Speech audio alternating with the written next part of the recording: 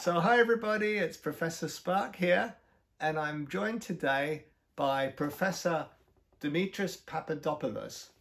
Dimitris, thank you so much for joining me for this interview. Uh, it's terrific to have this chance to talk to you.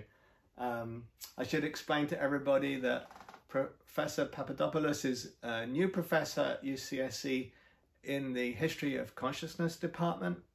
He comes uh, originally from Greece, uh, but before since then he's um, studied uh, here at UCSC and then went on to a career in British academia uh, at the University of Nottingham, yeah. right? And has done a lot of interesting work there um, on, on, the environment and uh, pol political ecologies of uh, both environmental damage and recovery and reparation um, and photography has been part of that work.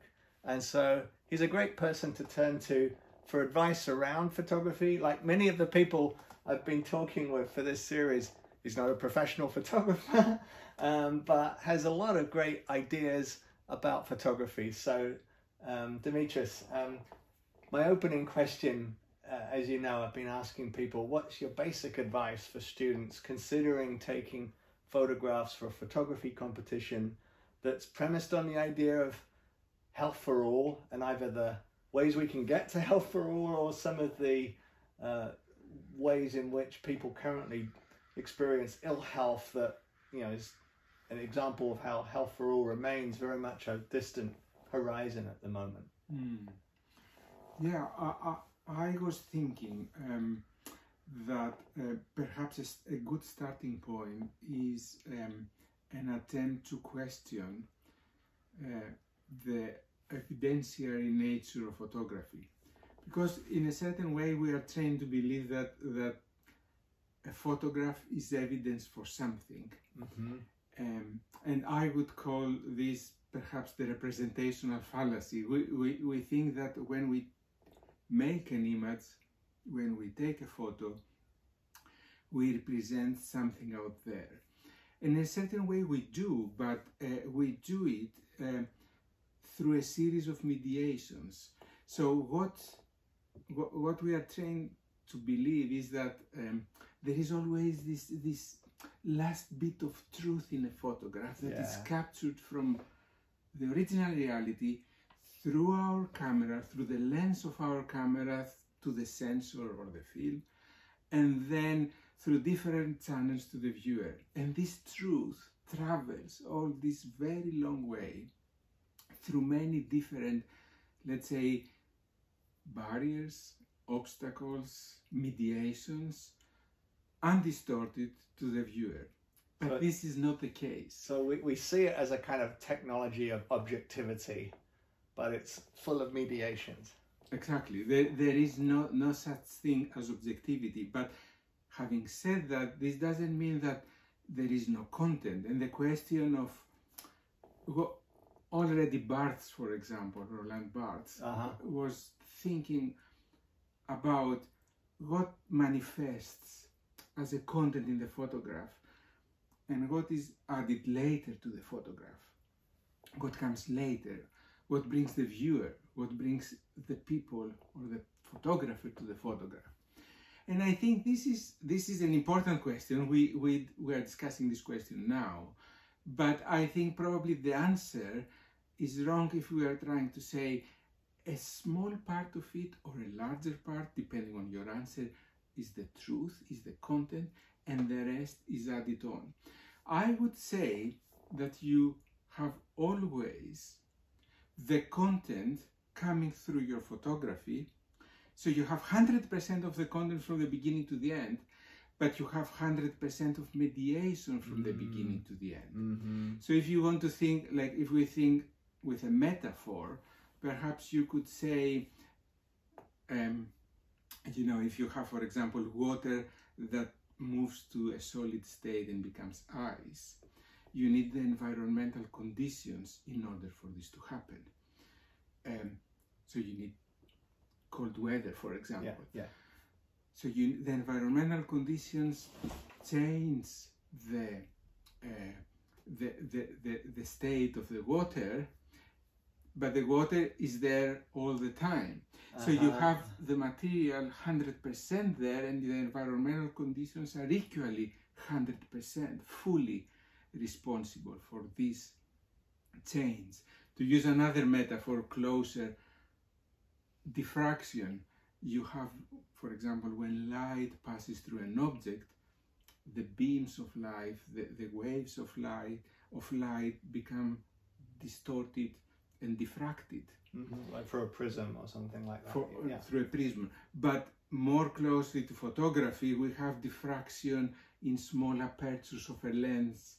For those of you who take photographs, not with a smartphone but, but a camera, then you will have to select an aperture Yeah. and in smaller apertures, for example f, f16 or f22, because the aperture becomes too small, the light needs to pass off a smaller hole in order to reach the sensor.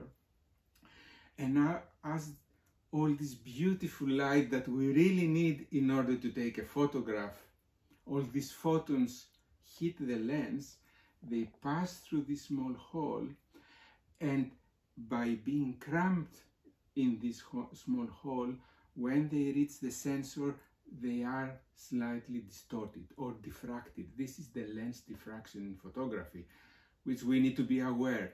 I use this as a metaphor, although I, it's not just a metaphor. No. I say something more afterwards why it is not just a metaphor, but as a metaphor to say that the light, when it's diffracted, all of it is diffracted. So we have light and all of it is diffracted. So we have what we capture is always there, but it's always also diffracted. Mhm. So it's not a percentage of truth and a percentage of addition. And this is the representational fallacy because we need to think how is the does this process happen? And this is something that I I like to call um, an approach to photography as constructivist photography. Mm. So photography is, is a constructivist undertaking and is something that we do and as we do it um, we make photographs Yeah. and and a constructivist photography is an invitation to think and reflect on this making of photography and i have some that, thoughts that how we can really resonates. It resonates with with other things that Jim Clifford said to me when I interviewed him about sort of breaking down the the dualism between the, the candid photograph and the posed photograph, and he ended up arguing that he prefers the posed photograph where the everybody involved the the subject of, of the pho- photograph the photographer and the audience all understand to some extent that there's this set of mediations involved. And those are, are more those are surfaced more effectively. Mm-hmm. Whereas the the supposedly candid photograph isn't really all that candid. It's staged in a different way and yet the staging is kind of obscured and yeah. Yeah, yeah. It's, it's uh, yeah.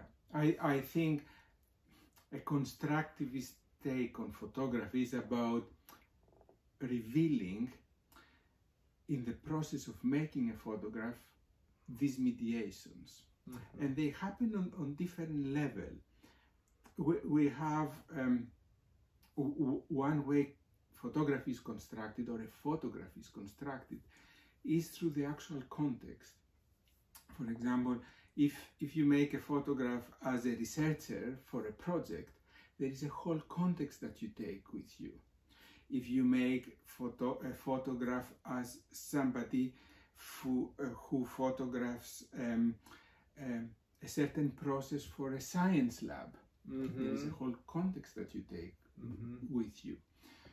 The light, the cameras you use, the, the, the spaces where you do it, how you do it, how you process the photographs, the channels that it circulates, who's, who receives this, who sees it, and Yeah, so and the, then the audience kind of knows, like say that the example of the scientific photograph done in a lab of, of like some insect or or bacteria or whatever it might be, um, those photographs are then generally shown to specialists, right, who, who are trained enough to understand the kind of process through which that photograph was taken. So the audience is prepped effectively. Exactly, and knows how to see and what to read in the photograph. Mm-hmm. And we have in 1977 a very, very important photo book, which is called Evidence by Mandel and Sultan. So, two, two, two, two photographers themselves that create this book Evidence, which is the outcome of viewing thousands of photographs across many different national archives, most of them here in California. Oh. And they collect out of these thousands of photographs a few, a dozens, I don't know, 60, 50, I don't remember how many photographs are in the book, taking out of the context and putting them in the context of a photo book. So by taking the photograph out of the context, we lose meaning. They, they are some of them are very funny, some of them are very serious, some of them are very disturbing, and all of them make sense in a new context, which is the context of an art photo book, eventually also some art exhibition here in this or that museum. So by Taking the context, decontextualizing and recontextualizing, we become aware of how the context constructs the photograph. And this is this this book is really important in the history of photography, but um, there are many, um, perhaps even more fascinating photographers or artists, conceptual artists who did the same, Baldessari or Ed and many others, which thought of this idea of what does it mean to take objects, photograph out of context, replacing, changing this. So this is a, fair, a first very powerful way to understand what constructivism in photography Yeah, means. that's fascinating. A sort of a radical recontextualization or purposeful recontextualization. yeah, yeah. Are there ways in which um, students can think about how they might participate in that kind of work? Um, I'm thinking that one of the tools for recontextualization is to think very deliberately about the captioning of a photograph that's sort of submitted for a photograph photography competition, but would sort of to to recontextualize for the audience. Uh, maybe the caption can be used in a way that that challenges the audience to think about their sort of more aesthetic uh, exhibitionary experience of the photograph versus the context in which it was originally taken. I don't know. Does the caption offer opportunities for doing this recontextualizing work and making surfacing the politics? Uh, I think captions are uh, is, is definitely a way to do it. Yeah. Um, of course, it always depends if you want to add text to a photograph. Mm. So, because the, this thing, I mean, you, you create something here if you add text next to a photograph. And there are well known um, photo books that do that, where we have the, we can have a single simple caption describing, for example, the place where it has taken, the, the time, and so on. We can have a few sentences, we can have a longer text, an iterative text, or a descriptive text, Yeah. or a creative text on the photograph. There are many ways Yeah. and how far you go. um, Ricardo Gomez, and uh, he spoke about using the quotations from people as the text. yeah, Uh, so the subjects are no longer muted; they become uh, sort of revocalized through the, these quota- quotations. but I think the most powerful way to recontextualize a photograph for Mhm. a photographer Mhm. although I'm not sure if this is allowed in the competition, but more generally, is to create a sequence. Ah, So a sequence is a radical, in a certain way, if you want to call it, is a radical constructivism. There is this very well known, probably the most important German photographer, or one of the most important, whose name is Michael Schmidt. So Michael Schmidt was working a lot with, with sequences, as many contemporary photographers. Um, so sequence is really important in photography. So how do you place the photographs next to each other? And he was saying one and one is three. It's huh. never two. One and one is three. So you create new ways of seeing and thinking a photograph. I see. And if you if you think the video that we will be seeing here yeah. has lots of frames, but you can never ever see in a video clip or in a film a frame as a singularity. It is always always connected to the previous and to the next, to the yeah. previous and to the next. Yeah. And that's what a film is, is this moving image. But photographs retain always a sense of fragment, a fragment, they have a fragmentary character and a sense of singularity. But we, on the other hand, we know from our discussion that we had about the context that we never see them out of context. So we never see an image, a photograph, without thinking of other images. We have other images that we use. But if you do it in a in a let's say intended or, or deliberate way where you put images next to each other by sequencing them then you create new meanings new forms of constructivism and in a certain way you would think that in film you cannot really do that there are a few if you if you see Luis Buñuel's uh, Un Chien Andalou from 1929, uh, uh, I think. Okay. It's, it's a series, of, it is as close as you get to something that would look, a film that would look as a series of images. Yeah. But in photography, you don't want to have that. You want to bring photographs to speak to each other. And this is the, the radical constructivism of sequencing. You put different photographs together and you create meanings. And that's the photo book. The art of photo book is the art of sequencing. That in some is... way or another. When you put them together in a photo book is the sequence that matters and that's that's a very very and you can tell a way. story uh, in that narrative becomes possible yeah kind of exactly. narrative art or I to think... break narratives and to create others to yeah. decontextualize and recontextualize. Uh, yeah.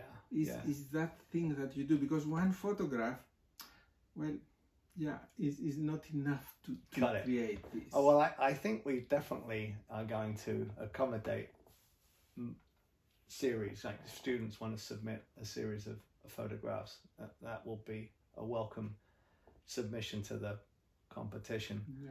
Can we talk a little bit about your own photographs and how you've experimented with this um, constructivist approach? I know you've taken photographs uh, on, and they're available online uh, of the British landscape, landscape I'm very familiar with having grown up there, uh, and you're interested in these rural landscapes that and that have sometimes been ruined in a sense by industrialized farming and um, other uh, modern technological interventions. Uh, but you're also interested in the sort of traditional beauty of the English countryside and the relationship between those two sorts of vistas. And and do you see series as a way of capturing landscape transitions uh, and changes like that? Uh, what, how have you sought to um, put photographs next to each other to address forms of environmental harm or, or change? Yeah, I think is is um, okay. Cre- creating a series or a sequence is something that is very difficult to. You, you do it with photographs. You, the, of course, there, there are some guidelines um, how you can create a sequence. For example, it could be the form um, in the photograph. So the abstract forms, what brings them together. Um, or I, I would say it's less the content, for example. If they have the, su- the same subject matter, doesn't mean that they create a sequence, which we naturally would think. But when you work with photographs, I think there are other ways to, to create sequencing. But I think there is something um, very powerful and in a certain way um, very, very magical in the sequencing that you put photographs together that that bring they work on different levels. They they work on the affective level they work on the aesthetic level they work on the on the temporal level.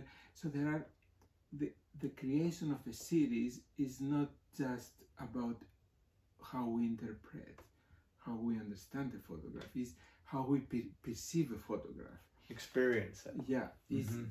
And that's the difference between a, um, a photograph and words. And that's why it matters if we want sometimes we want to put words sometimes not because the power of the image is that you see it and you have immediately an experience of it. You see a photograph and you experience the whole photograph in itself. While i would need 300 words or 3000 words 30,000 words to, to describe perhaps an image, depending on how what I want to do with it.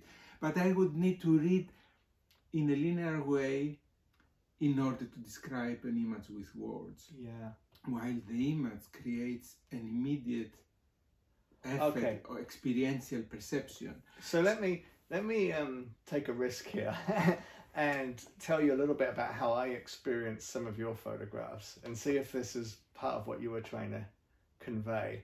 Because um, you know I came from a relatively poor background in the UK, uh, and I um, nevertheless, or you know, still enjoy you know what's seen as the idyllic English countryside, you know, and people ask me, "Oh, what do you miss about England?" And I say, "Oh, well, country lanes and sheep in fields and old stone walls and things like that." And I do miss them. I, th- those are, um, but I felt that you were trying to do something really interesting in in some of your rural landscape photography that was, in a sense, problematizing that kind of easy nostalgia that someone like I, like me, has.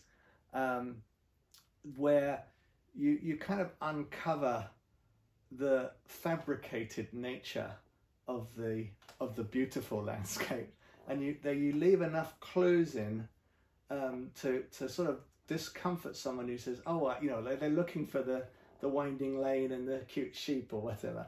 And and instead there's something in the picture like there's some of the fens that you took that that makes the viewer feel like ah well it's kind of beautiful but it's kind of got like there's that ruined tree over there that's kind of like something horrible happened to it or Mm. whatever or there's like it looks like a kind of big agricultural dump in the distance and um and you discomfort the viewer in a for at least for me a kind of visceral way is that what you were going for Absolutely, yeah, Yeah. I think yeah. I, I wanted to to move um,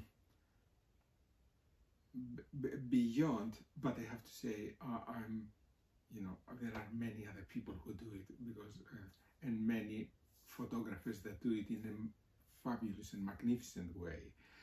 Um, but me, together with them, or following them in a certain way, I wanted to break this double that we have and this is it is because of the representational fallacy that I we talked earlier.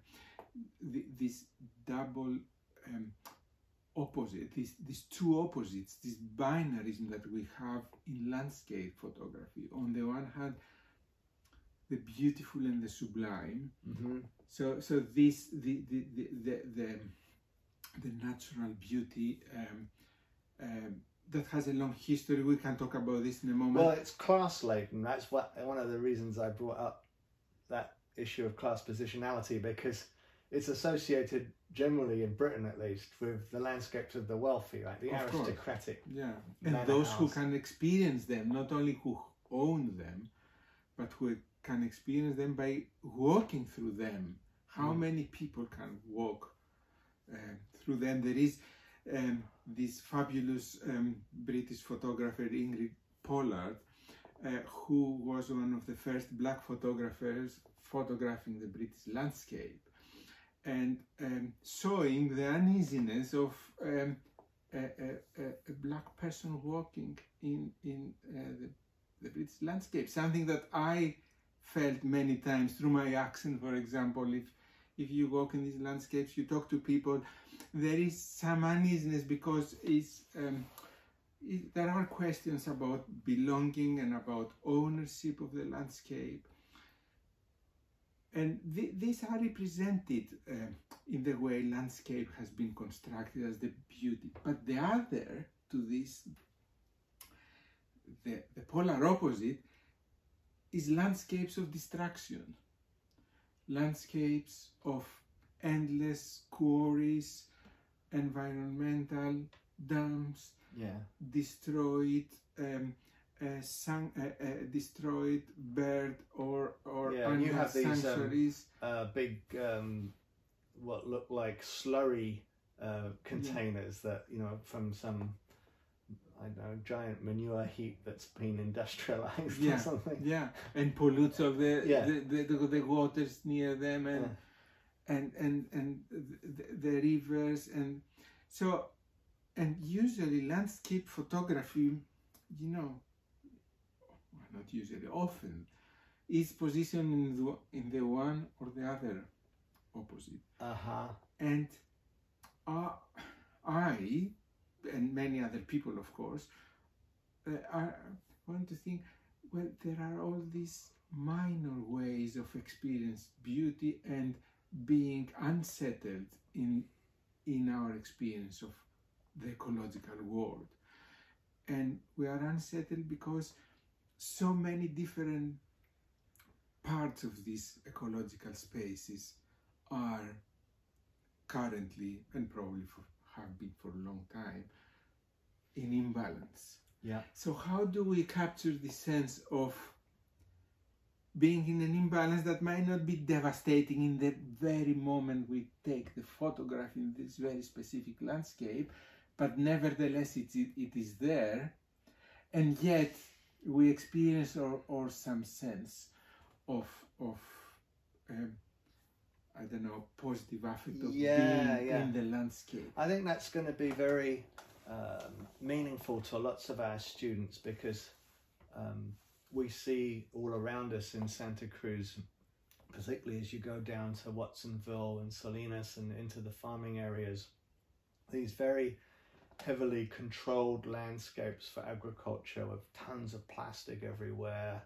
um, big um, silos for pesticides um, that are about to be distributed and so forth. Um, and um, so there's there's there's those kinds of landscapes, and yet um, I think we're all familiar with how we nevertheless live in a a place that has a lot of beauty to it as well, and that beauty um, has a sort of a utopian promise, um, and it's a promise that I think that many people at UCSC have sought to to make embodied in the landscape of the campus. Um, and um, Jim's photographs of the campus as an ecotone, I think, speak to this. But some of the landscapes, like um, the Chadwick Garden, which I love to go to, or the farm, I see those as efforts to build utopias in a dystopian world. Um, and they're not, not, not complete successes. You know, there's a lot of controversies and challenges that both those places have gone through over the years, but they nevertheless hold that utopian promise. And I'd like to think as students, you know, maybe entering a photogra- photography competition on health could sort of capture that either Mm. on campus or in the landscapes that surround us. Mm. I think that sounds a magnificent project actually to try to capture this this ambivalence of the landscape, this inherent ambivalence which is there. And probably the constructivist moment comes when you try to to think that you you you you make photographs that bring these ambivalences they don't just show them. So that's why we we capture something, um, but we capture something that is more to what we capture than what a photograph can be. And I think that's a good photograph. A photograph is the one that doesn't illustrate something that is already present in our optical consciousness, but it brings with it some kind, some something that is virtual in a place. Mm-hmm. Uh, it doesn't necessarily is visible through the actual things that we photograph, but our photograph brings this virtuality uh, and makes it apparent. I think the strong photographs and most of the good photographers do do actually this. They they they through the photographs you see virtual possibilities of a space. Is is is this constructivist moment that brings out the virtual.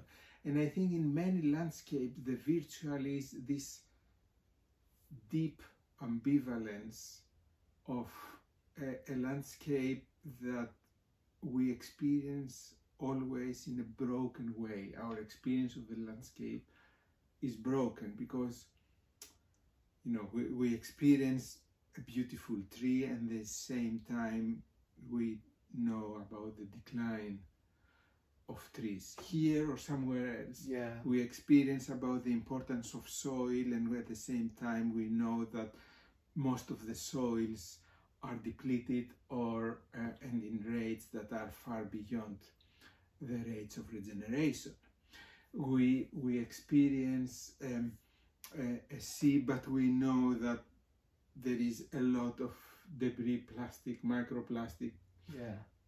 uh, uh, pollutants in, in the sea. So it is how it is about bringing this am- ambivalence and Yeah. I mean, we see suffering in the landscape too, I think, right? The, the, around, I mean, just around Santa Cruz, I mean, you can see unhoused folk living in a very, in a way, a very beautiful landscape around the San Lorenzo River. And yet they're living in really horribly rough conditions um, and trying to just eke out survival in this landscape. And I mean, some people's objection to homelessness is simply that they're ruining the landscape, right? yeah, Not yeah, that their whole lives have been ruined by the way our society is set up. Um, but um, there's also, you know, as you, if you take that wider view of, of how the landscape is embodying what is wrong with our society, um, you can, yeah, you, you, see ambivalence there that's, that's full of, of suffering and damage on the one side, but also promise and human endurance and resilience on the other side. yeah yeah yeah it's it's um, it's this virtual virtual potentials of the landscape that make a landscape i think um capturing a landscape image capturing. And is a, a lot of this has to to do with time and power. So a co- constructivism is, is also about revealing power and how this influences Uh-huh. the way we take a photograph. And there is by definition the moment you you you, you have a camera uh, there is a question of power there because who has the camera? Who owns the camera? Who holds the camera? Who operates the camera? So there is a question there is a question for landscape photographers of history of images of landscapes. And the history of landscape photography is not a, a history that docks onto the onto the landscape painting of the 1800 or even before Poussin or Constable or Turner trying to capture some of this beauty and in the moment of the birth of photography perhaps even through some kind of romantic approach to, to, to, to the ecological world. But it talks to something very different. It talks, it docks to um, the governance of space, in documenting space, in um, documenting um, military operations, in classifications of natural um, uh, the natural world of other species, in classifications of people. It docks directly on colonial expansion, on extractivism. It docks on the settler um, self representation, or actually on settler colonial understanding of another landscape that is not so familiar and the appropriation through the photographic image. And then if you think later it becomes around the 1900s, it comes closer to this artistic understanding of or aesthetic understanding of landscape. It moves, a, I mean, both coexist in parallel. The, the more uh, uh, the, the, the, the, let's say the, the practical, the, the interventionist, and the uh, uh, photographic landscapes taking through army classification, mm. science, um, comes after, later, after 50 or 60 years closer to the artistic landscapes. But even there, they are always mixed with a sense of, of documenting and doing something with them. They, they, they, they left a bit behind the, the purely aesthetic understanding of, of the landscape. And I think revealing this relation of power in how you, for whom you make landscapes, how you make them, how are they used, wh where they are coming from, is, is um, is quite important in, in, in, landscape photography. And in every place that you are, there are these relations of power that mediate what we said before. That, you know, yes, you, you are actually photographing a certain landscape, but it's mediated by all these different context, technology, uh, sequencing, and so on, and power too. Mm-hmm. And how do you make this visible? How do you visualize um, uh, um, on the landscape traces of of the colonial past or new forms of colonization. Or of any other kind of power relations yeah, yeah or exploitation of uh, migrant labor. Right. Uh, which in, is very the, real here yeah, yeah. well I, I, I think those questions are, are really great questions to to end the interview on. I mean, that, that you've given us so many powerful points about power relations in photography, and I think students are going to find it really uh, provocative and and useful as they think through how they can use photographs to document health challenges and and opportunities for for building a healthier world. So huge thanks. This is Thank really, so really much. inspiring. I look, I look for the, uh, forward to seeing the photographs and yeah, yeah, and good luck with with the competition and good luck with photographing.